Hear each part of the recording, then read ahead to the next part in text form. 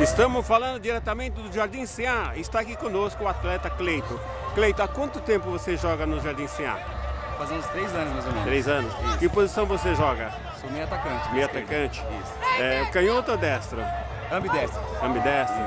E é, o grupo eu percebo que é tudo jovem, entendeu?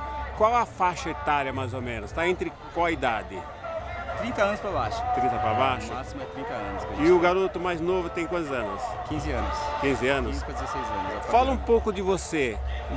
Você, começou a jogar bola com qual idade? Comecei a jogar bola com 9 anos. 9 anos de idade? Isso. Chegou a treinar em que local?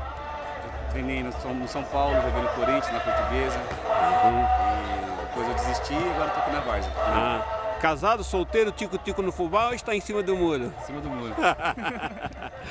ok. Veja bem, hoje está um dia propício para jogar futebol porque realmente está frio. É, vocês vão jogar, vamos é torneio ou é festival? Hoje é festival, torneio joga- jogamos semana passada, ganhamos de 9 a 0, nosso time tá bom, tá redondo. É, né? Semana que vem nós vamos. é, não vamos jogar, vamos folgar. No próximo domingo é campeonato. Promete fazer um gol hoje para a galera? Fazer dois hoje. Dois? Hoje eu faço dois. Ok, garoto, boa sorte. Obrigado. A Várzea é nossa, reportagem de Nilson Gonçalves.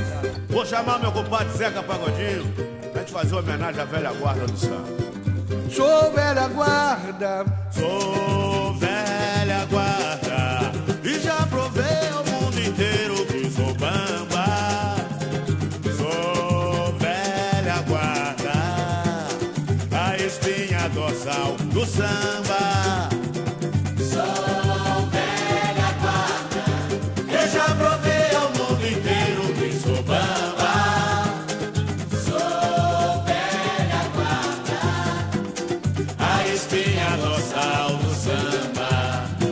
Mestre, sala, diretor e ritmista. Já puxei porta pra desimpedir a pista.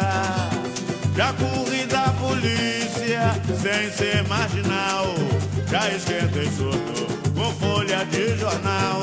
E apesar de tudo, eu estou numa boa. A velha guarda é o samba em pessoa. Vai, Zeca! já fui carpinteiro, serradeiro e artesão. Até a minha casa já serviu de barracão.